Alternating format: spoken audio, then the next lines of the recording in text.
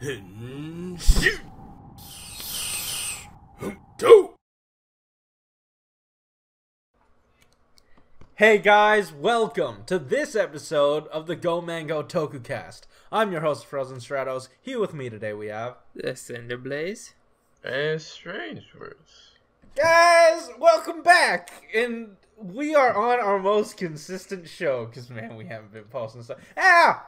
Anyway, we are on episode 20 of Kyuranger. And, I mean, on paper, this was definitely a solid episode. In execution, little shaky. Little shaky. What'd you guys think? Uh, okay. The latter part, like, I don't know, the last fourth of the episode was good, but the first bits were just like, man, this is really dumb. Yeah. Can you can you elaborate? Okay, so first of all, we have the Glorious, uh, poisoning myself and trying to fight with, uh, good old Bone Spear, while my brother, who has taken on multiple Kyurangers and defeated them pretty handily, uh, I'm definitely gonna be able to ki- defeat him with this ancient secret technique. Mm-hmm, definitely. yeah, of of suicide. Mm-hmm. Yeah. yeah, That. very, very good. Yeah, and his brother already knows about it, so like, there's not like a real surprise. There, it's like, oh, you're just doing that. Yeah, I know, and it, it didn't even phase it. We didn't we didn't get any sort of lead into that that power, so we don't quite know how powerful it truly is, es- especially in that battle. Like we pitted him against uh, Kotaro and Lucky, but you could make the argument that they're holding back since it's their friend. Well- so we, again, we don't we can't really tell how strong that actually is. Also, against Kodo and Lucky, he got double poisoned. Whoa. Well, uh, the second poison was just mind control, so that's probably why. Well, no, no, He you wasn't- can't be sure it's mind control because it made the black scars on his body also red. That signifies power up. Uh, I don't know. Since we've been seeing like uh, Scorpio's poison be used to mind control everyone, that's kind of like what we're supposed to like assume it is, right? Because I, Uh, yeah, yeah, yeah. Well, the reason I say it's also power up because he also stabbed him in the heart, just like the technique was used. So, presumably, it was also to go like, oh, we're just gonna double up. It'll be great. Mm. yeah, but you know what? Oh, okay. M- maybe maybe that is this is sort of set up to like if if uh toward the end of Stinger's brother's sort of life cycle or his his arc, we see him kind of freak out and have to you know whip out that technique. I, I would like. You know, maybe this is set up for that. Yeah, yeah, it'd be nice to see that where it just goes, oh, I'm gonna use it and completely demolish him until something comes out. Something comes out. Something pops up that's like power up or just random new thing that'll just will disappear after an episode. Hmm. Oh, you know, I, I will defend um part of the first half of that episode because when Naga stepped in and took the uh um took the stab for Stinger, that oh wait, was it Stinger or just like got stabbed? I think he just got stabbed. I, don't yeah, I think he feel was like- ever stabbed. that was a pretty well constructed scene like that portion of it like you know you you have the whole thing of naga going down that was that was to me it looked pretty brutal and then on top of that we had stinger in the background just seeing it happen and that is it, it was exactly um what he didn't want to happen. It's like leading him down more into despair. And to have him you know again on paper to have him come out of that uh on top at, in the end like come away from that um still trusting his friends or his quote unquote friends in the end that's pretty nice to see. Yeah, like it, it gave a lot more meaning to it. Yeah, and kind of like confirmed like his beliefs. Like, I was like, oh damn, like I made the right like decision, kind of, because if everything went my way, you know, he wouldn't have been stabbed, and now you know everything's yeah. wrong because my friends are with me. Mhm. And then like you know, it gets flipped later on in the episode where he's stronger because he has his friends with him. So Yeah, I really, yeah. like that setup at the beginning. Like Mhm. Naga getting injured, it looked really cool. it didn't really like lead up to uh any. No, like, it didn't amount to much. Yeah, by it- itself, but hmm like But paired with you know Stinger, it it created a very nice like.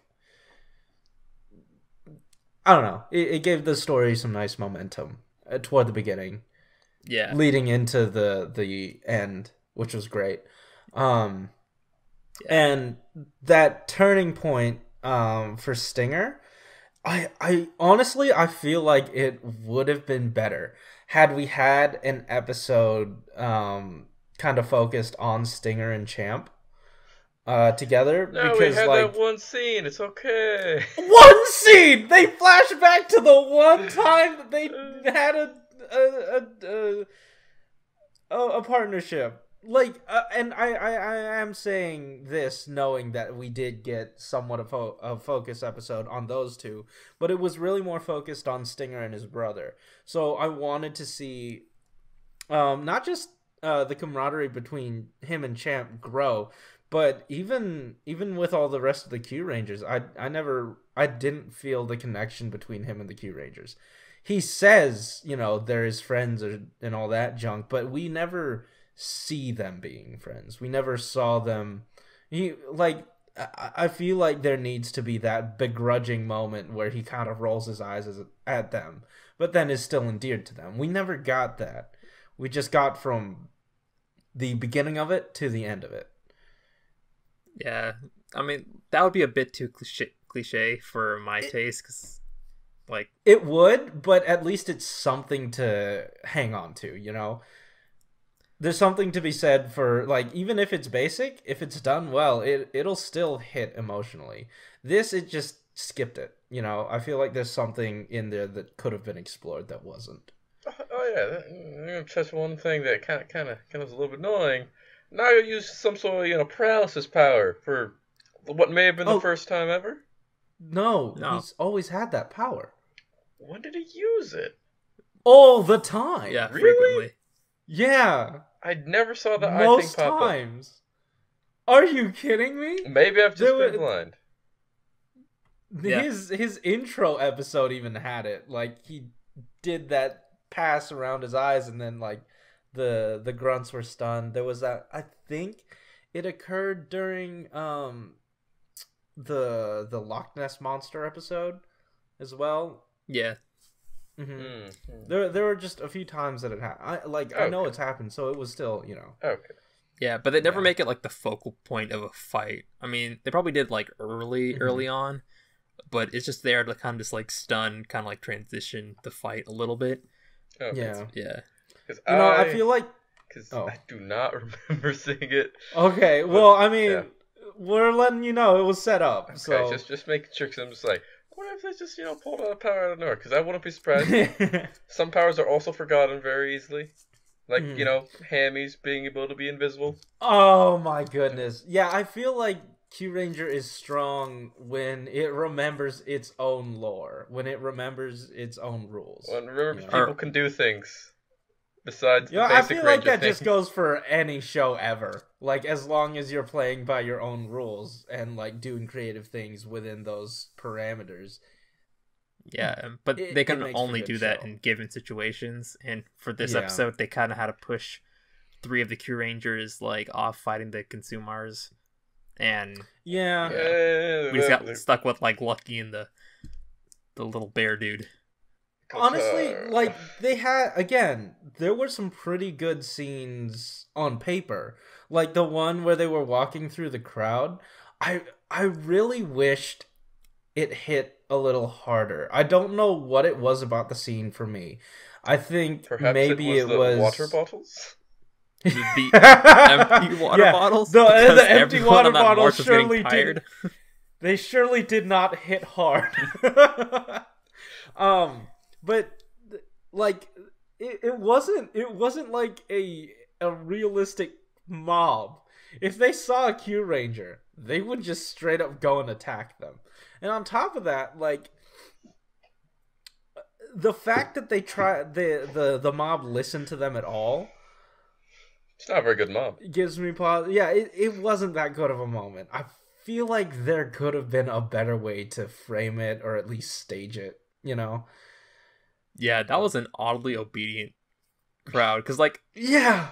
they find the weakest of Then the Q again- Rangers and they're just like, oh, let's listen to this kid. It's like, no, grab the kid and get your reward. Then again, they are a pretty scared people. You know? Why would they be scared of that little kid? He's a 'Cause Q he has a- Ranger. He's he overpowered. has a Okay. gun. I, I I guess like the rest of the Kyurangers were behind him, so Mhm. he probably I didn't want to like do something rash. So I don't know. I feel like they appeared out of their toku pocket after he got like he started talking to them. yeah, that Yeah. yeah, I think that was like mainly it. That crowd just it didn't sell the scene, and then like Yeah. Lucky's like trying to.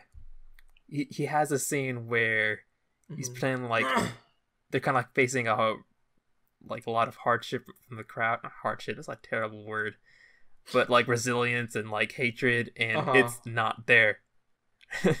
and like Yeah, little that- kids are like, "I'm ashamed to be an Earthling." It's like they're not really doing much. Exactly. They're you. I don't know. I don't know. Like, I feel like the strongest part of this episode lied with Kotaro. yeah, also one of the Uh, weakest yeah. parts.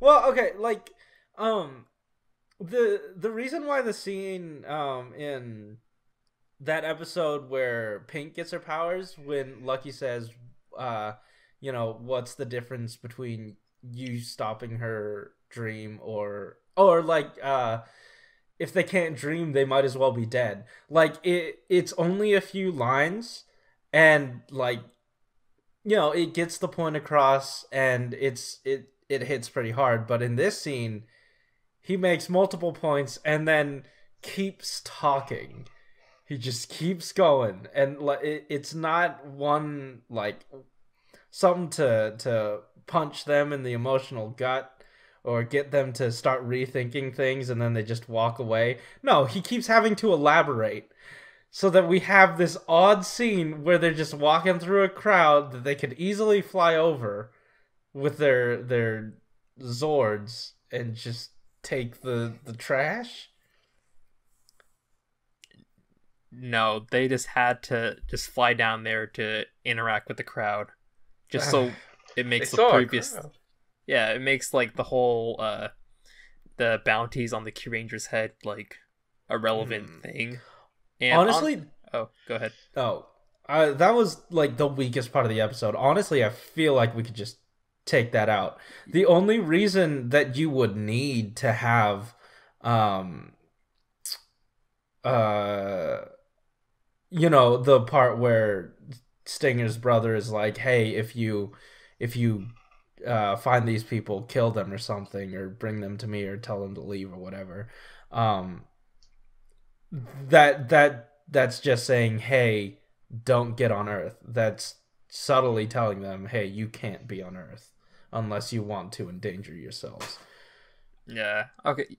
Now that you mention Scorpio, I think that was more of him being kind of twisted, more Hmm. than like the bounty actually meaning like something for the Earth people. Just him, just you know, issuing that threat to them. wait was it a bounty i forgot what it was not like a money bounty, but like uh, for their freedom and stuff. Mm. well i feel like it was kind of like it incentivized the people of earth to not only turn on the Kyurangers but kind of hinder them in a way because they they might get in the way of the Kyurangers being able to save excuse me the earth right? Yeah, and also it c- kind of makes like the Kyurangers kind of question what they're fighting for because like the people who they're trying to save are against them, so mm-hmm. it just kind of brings that up. Th- but- see like that was that was a part of that scene um and that's why i liked the the uh kind of tick where uh kotaro kind of got sad that his people were reacting this way and unlike you guys i kind of liked it i just wish that it was done a little better I don't know. I kind of hate that kid. I hate every time he's him. in a scene, I- I- I'm like- yeah.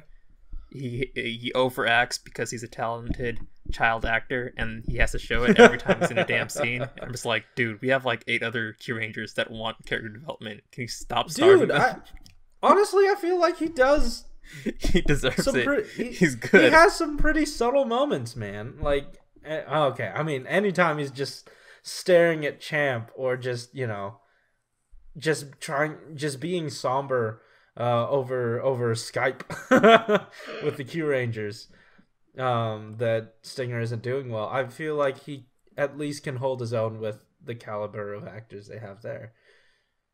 I know he's better than most of them. That's that's my problem with him.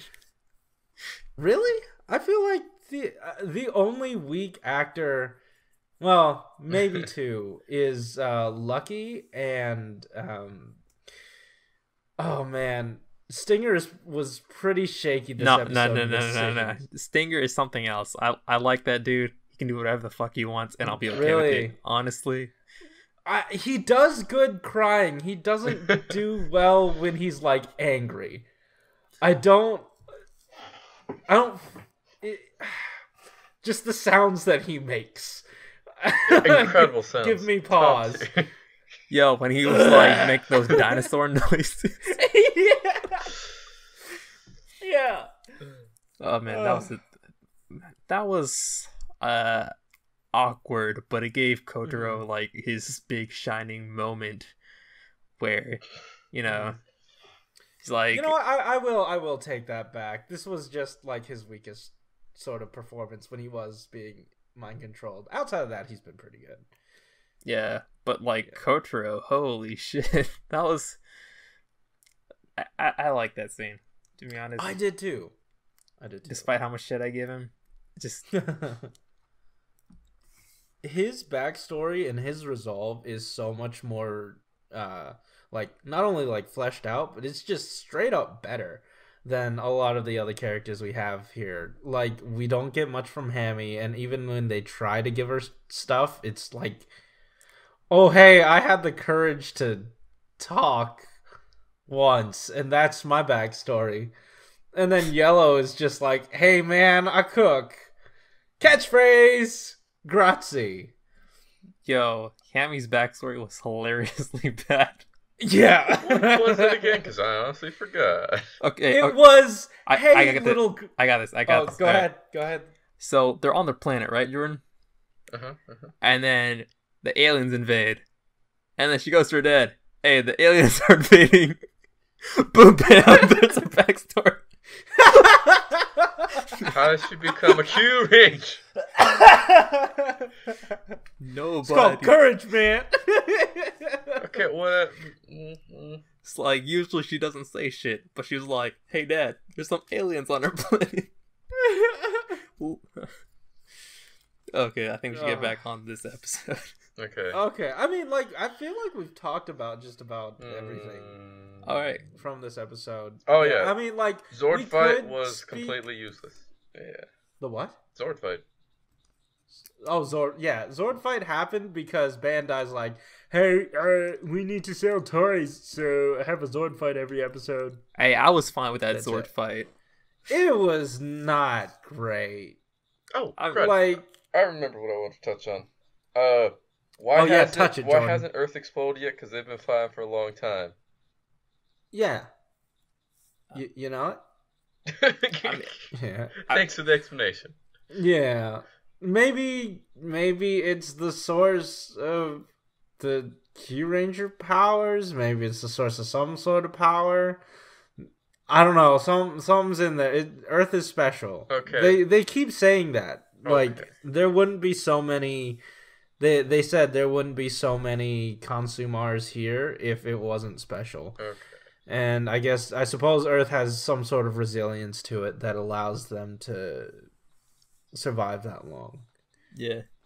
Yeah. I'll take an excuse, I won't lie. Um, and like, also, I I don't know for those of you who watched past the credits, uh, like if you haven't seen it and you don't want to get spoiled for next episode, because you know Toku always does that, and I I understand not wanting to watch, t- you know, after the credits because there are spoilers. uh, leave now. Show's over for you. But um, so three, two, one. We are getting the Phoenix uh Kyuranger. Yeah, it looks like I'm Magi Red, except a bit more bulky. like a, a combination of Magi Red uh and and the swap mode. It's like Magi Red in swap mode. And then he has uh his dad's sword and shield. Yeah, I see that. Yeah. Yeah. That's pretty dope. Or actually, I don't know for Magi Ranger, but for Mystic Force, it, it was his dad. Yeah, it's it's I like it. I like it a lot. Yeah. It's different. It has this really uh I don't know, swap mode sort of feel. It not necessarily more industrial, just more No, I don't know, man. I like it. yeah. And who is he? Like, do we know? Because he might be the Argos thing that I I don't know. I I just specula- uh, speculating on. Yeah. I mean, I don't know if this is giving away too much, but I've seen the actor, and that's that's all I know. Like I I've seen the dude's face. All right, I, I Yeah. think that's all there is to that. Okay. Yep. Yeah. No, it is. I have seen his face. yeah. no, like it, it. uh, Just saying, like it's not someone we've seen before. Uh, Yeah. Um. Yeah. Uh, I think that's about it Mhm. for this episode. We have talked just as long as the episode has gone for. hmm I was about to mention Yeah. that. Yeah, yeah. Okay. Anyways, guys, uh, again, I think that's just about it. If you like this video, hit that like button. If you want to talk to us about what you thought of uh, Kyuranger this week, um, and maybe ways to improve the episode, why don't you tell us in the comments down below? Hit that subscribe button if you want to hear more from us each week. And in the description down below are all the links to our social medias for the Go Mango Network and our uh, individuals, except for Jordan, because he's a poop. And also, there is a Discord chat link down in the description below, so hit that and we will talk Q Ranger, Ex-Aid, uh, My Hero Academia, any, other thing that comes to mind. Anyways, guys, thanks for listening. See ya. Ex-Aid's dope.